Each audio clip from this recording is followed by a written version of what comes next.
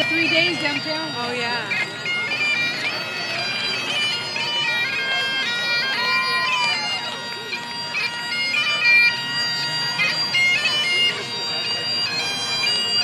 Yes, it's on fire.